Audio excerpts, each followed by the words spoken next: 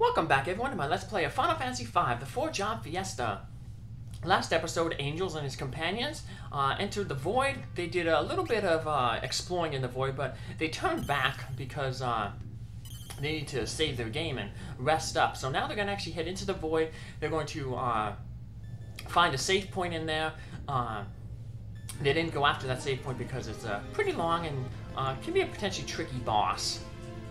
So we're gonna finish exploring the, the void, get that save point, and uh, get most of the treasure chests in the void. They're going to skip one of the treasure chests because that treasure chest is guarded by the other optional super boss, Shinryu. So we'll probably make a save, and then we'll uh, set ourselves up, because like with Omega, we're going to want to uh, set ourselves up a certain way to be able to deal with that uh, super boss. So, let's head on back into the void, get some more uh, ability points, and the rest of the monsters that we haven't encountered uh, yet in the, the bestiary. So we already cleared out the first two floors. Uh, third floor is where we're going to find that save point. Uh, well, third floor is where we're going to find the treasure chest uh, that we don't want to get, and then the fourth floor is where we're going to have that treasure chest. Luckily, though, all the floors are really small and tiny, so uh, there's not much, uh, you know, to explore. Uh, speaking of small and tiny, one of the enemies is really difficult to uh, run into, the mover enemy. Uh, they're like these three little red spheres, but they give like the most AP out of anybody. They give 199 AP if you defeat them all. Good thing is, they are undead, so you can use the Requiem song to uh, defeat them all at the same time. The problem with them is uh, they like to revive each other, like the gargoyles. Uh, so you pretty much have to defeat them all at the same time. But hey, we got the singing for that. So that treasure chest over there, that is the one with uh, Shinryu in it. So uh, you can actually run away from Shinryu. Uh, so that's one little blessing. But we're not even going to tempt fate and uh, even attempt to like open that treasure chest. We're gonna make our save first. So here we got some mind mages. Uh, they can be kind of annoying. They use this brain suck on you uh, I think lowers your stats and takes and uh, puts you in the sap condition. They can be charmed pretty uh, easily, uh, but the biggest problem with them is uh, when they're they're charmed, they they don't do a lot of damage when they hit themselves. So Charm ain't super duper effective, but better if they hit themselves for small damage than hit us for uh, a little bit of damage. Yeah, they got that Evil Blaster spell, but it never works on them. So, they seem to have a nice resistance to instant death. A bunch of not too damaging spells, but they're still annoying. Especially when they hit you with that Brain Sap, because uh, that puts you in the... Uh, the, the sap condition, the brain thing there. So you're constantly losing hit points. So, nope, none, none of the instant death is working, so yeah, Faberge's Slash is kind of pointless. But we'll probably have to take that ability off her soon anyway. Oh, yeah, now you see Lenna, she'll be losing hit points over and over uh, as time ticks down thanks to that Mind Blast. So There it is, going. We'll be using up most of our potions to heal up here. So, but of all the enemies, I think these guys are probably uh, some of the easiest. Uh, they don't hit really hard like the Crystal Dragons or the King Behemoths. Uh, they can be annoying if they come with this other uh, group of enemies, though, so they tend not to come by themselves. Uh, this is a rare formation having four of them, but he took care of them. I usually come with this other enemy, uh, the uh, Necromancer, which uh, turns you into undead, hits you with like a zombie spell. That's something you can almost use on, uh, if we wanted to, that's one way we might, might be able to cheese uh, Shinryu, is if we get one of our characters, preferably whoever the bard is, with a dragon harp, and then have them turn into a zombie, and then uh, have everybody else hide, uh, the zombie will have only target will be Shinryu, and they'll just attack Shinryu. Even though Shinryu hits really hard, has a bunch of uh, spells, they won't do any damage to the zombie because uh, the zombie's undead. This green uh, glowing orb over here. That's our final save point. We have to talk with it though. This light, I won't let you have it. It's like the apocalypse guy. This uh, bat monster guy comes out. He is invulnerable right now until we defeat his four barriers. He tells that right now. With these four barriers, I am now invincible. So if you try to target him, uh, you'll miss him. Just like how we threw that uh, GP at him. It didn't hit in, it didn't hit him. It just hit the four barriers. Now the barriers they basically will bounce off really strong spells off of each other. Uh, so you can't target them with magic. Uh, they're already built-in wall. Uh, they'll start bouncing like Flare, Holy, Bio, level 3 elemental spells. So, uh, pretty, pretty dangerous. Uh, obviously, once you start taking them out, we'll get a little bit easier. But you just gotta hope that you're lucky these first few turns and that they, uh, basically all their spells don't hit the same person. Because if two of them hit, then, you know, you're pretty much that person's gonna be, uh, you know, defeated. So, we got kind of lucky that it's everyone got a new target so far. Thought that was gonna hit Cara, but nope. Let's see, hopefully this doesn't... No, it doesn't. It's gonna hit Angels. Darn. And it's now gonna have to waste time bringing everybody back. Uh, so... Oh no, Angels survived, surprisingly. Nice. And they're gonna be the uh, main form, uh, Angels and Lenna taking out the barriers. Now the only problem is now these two barriers in the back, they are... Uh, they are uh, considered back row because uh, Necrophobia is in front of them. So we're to do less damage to them. You might want to keep throwing the gold at them, but I want to save money for like the final boss. It'll be really useful against him, so... You once you start taking down uh, each uh, barrier, it's not as bad. Because uh, now there's only one, one uh, taking a turn, so... Yeah, just concentrate on one at a time, and it'll get a little bit easier. And then, uh, once we uh, take care of the barriers, then Necrophobe will become vulnerable. But the good thing about Necrophobe is he is um, vulnerable to every single magic. He takes extra damage from all magics. So uh, that Holy Sword, the Excalibur, that Angel swings, is going to take off a lot of damage. Probably going to max out uh, damage on uh, him. So, see, he's weak to all. My invincible barrier, so no wonder he needed an invincible barrier. I have no choice. Have a taste of my real power. Well, Flash is not his real power, but it is an annoying spell because it blinds our characters, and we want, want Angels, obviously, to not be uh, missing hits, because it'll take off like 9,999. So let's make pull out our eye drops and put eye drops on our folks. Now this battle, uh, you really will actually defeat Necrophobia. Uh, we'll get him down to a certain amount of hit points, and then our good buddy Gilgamesh is going to make another appearance.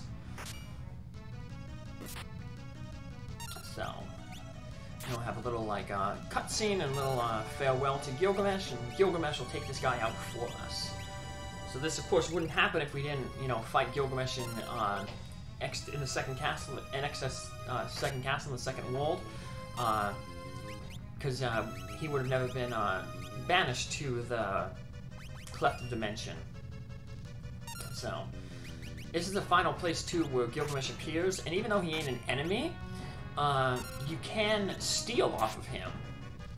This is the place where you would get the Genji armor, the final piece of Genji equipment. Which is a really, really strong armor. Once Gilgamesh appears, the, the battle is over, because Necrophobia is no longer going to attack you, he's just going to focus on Gilgamesh, and they're just going to take each other out.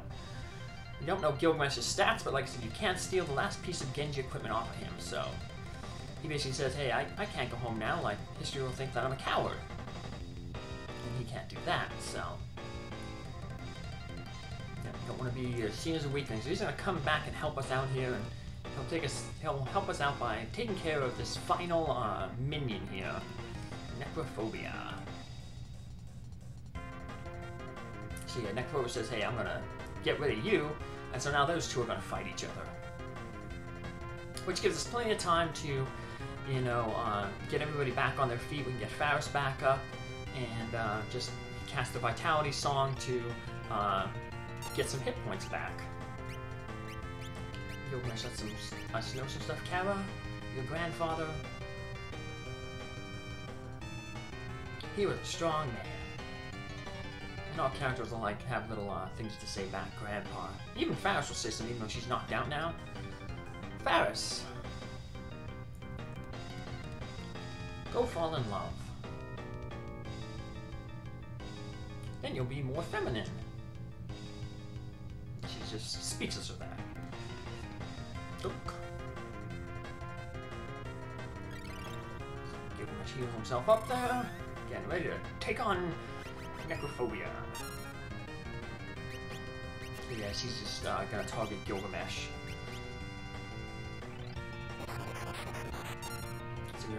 Do anything here. Like I said, we'll just heal ourselves up.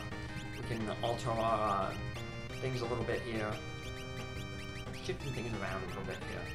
Give us something to do on that uh, while we're waiting for this stuff to happen. Yeah, a lot of this stuff we're going to end up selling uh, because we want as much money as possible for the final boss. So we can throw it at him. Money, the solution to all of life's problems. Lenna! Nothing we can't solve without throwing money at it. Well, that's not true, but... Lenna never forgets your love for animals. She's also speechless. Angels. Speaking of animals, if you love animals, Small Angels Rescue is a great rescue that helps little animals, little small animals like hamsters, gerbils, guinea pigs, mice, rats. So if you haven't contributed to them, make sure you do a little contribution. Dad, my daddy will be making one pretty soon. Uh-huh. I was a rescue rat too, me and my brother Bob. Yep. And our sister Guinevere. Yep. I came from St. Nicholas Mouse Rescue. Mhm. Daddy gives to them uh, every year. So he hasn't played the Fiesta for them. He plays it for different rescues, so. Uh, yeah. So Gilgamesh finishes him off with the Exploder spell. And uh, Gilgamesh will make appearances in future Final Fantasies. And I think they said that uh, in canon it's the same Gilgamesh. He just travels around dimensions. I guess when he died in the void here, he was resurrected and got to travel between dimensions.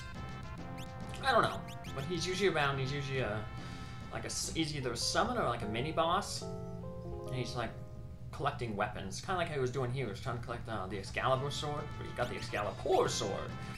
So, all right, so I'm gonna save my game here, and we got a lot of enemies. We well, not too many, but we have a few more enemies, and I cut out a lot um, of things. It took me about half an hour to find those mover enemies that I said, because they're, so tiny. they're really tough to find. I actually ended up maxing out on Cara, getting her uh, Red Mage mastered. So uh, I'll basically leave here with basically only uh, Angels needing to master the Red Mage. So there's the Necromancer, the new one. Uh, does that annoying zombie powder, which uh, turns an enemy into, or turns your character into a zombie. We can set that up for the Shinryu battle. We're going to fight him a different way. Those um, things at the bottom there, that's what's called the thing. It looks like the crystal. They are really, really weak. They only have three hit points, but they have pretty good evasion. They're easily charmed, though. Uh, and uh, when they're charmed, they tend to confer a lot of helpful statuses on your characters. They'll cast like armor, float, shell. So it's a good thing to maybe get them uh, before a boss battle to maybe get them charmed. They have all those uh, abilities. It'd be nice if we were fought them earlier and had them access to the float command. Uh, get stuff like Omega. But yeah, they only have uh, three things. We're gonna need to buy a crystal helm back in Mirage. Hopefully we get lucky and one one thing will drop it, but let's see if some buying a little bit of stuff, but sometimes the things also uh, seems like when a thing is charmed, uh, or an enemy, any type of enemy is charmed, no matter how good their evasion is, uh, they're able to hit themselves all the time. So yeah, charm the thing, they they'll be able to uh, hit themselves sometimes. Hopefully they don't do that until they, uh, whatchamacallit, until they, uh, confer all those good bonus statuses on you. Ooh, took out the thing. Lenna, surprisingly, didn't miss. He tended to miss a lot. I wonder if that's a uh, byproduct of the uh, double hand, the double grip. I don't know, it seems like they people miss a lot when they have the double grip on. I don't know the actual mechanics, though, if that's true. So like I said, now it takes about half an hour before I find these movers. So I just cut out all those battles. And you'll see Cara has a lot of uh, AP and almost mastered the thing. So here's the movers. The good thing about them is, like I said, they are undead, so we can all have the Requiem song sing. So while I was waiting to farm these guys, I uh, gave uh, everybody the sing command. These things so fast that I was gonna take uh, like Angels hit the one in the front, and I was gonna have everybody hit uh, like now next time Angel would go hit the one in the uh, in the back, you know, to try to keep uh, all at the same time. Try to get everyone uh, a week week at the same time. Uh, we're getting uh, pretty close to being finished off here. Probably like two more songs. They're also, uh, like I said, weak to fire, so if you have like Fire 3, you can hit them with a Fire 3 spell um, boosted with like an elemental rod or the wizard wand. But we'll just sing them to death. Now we take them out and look at all that gold and AP we get. And Cara finally masters the red mage job. So now only Angels has to do that. So we'll set our characters up into most of the jobs that they're going to be. This is how they're going to be in their, their final jobs positions. Uh, Angels will be the samurai, uh, Faris is the knight, Lenny is the bard, and Cara will be the red mage. So, but uh, we'll start mastering uh, red mage. We'll get some AP from uh, Shinryu when we fight him in the next episode, and then, like I said, we're gonna leave here, and we're going to uh, head back and sell a bunch of stuff and get a. Uh, we didn't get a uh, a crystal helmet from any of those things, so we're gonna have to buy another crystal helmet, and uh, then we'll sell a bunch of this stuff and make another trip through. But I'll just meet you back here at this final save point. Uh, and of course, during that trip, I'll probably end up, uh, you know, maxing out uh, angels because you don't have that much further to go to master the red mage job. He's more than halfway there, and he's going to get 100 uh, AP uh, from Shinryu. So that'll put him almost at like two thirds of the way there. And we got quite a few. Uh, you know, you saw how large the cleft of dimension was, so we'll have definitely enough time to uh, master that job here. So we're kind of setting up for Shinryu here, although the setup will change a little bit. Um, Shinryu will always open up with uh, uh, uh, a tidal wave attack. And unless you have Coral Rings, it's going to wipe you out. But there's another way that we can avoid that uh, coil attack if we give uh, angels a certain ability. So we'll see that when we. Uh, yeah, it's a good thing we have the save here because I can save the game, and then uh, you know if the strategy against Shinryu doesn't work, I can just start a new one. So we'll see what strategy does work against Shinryu in the next episode. See you then. Bye.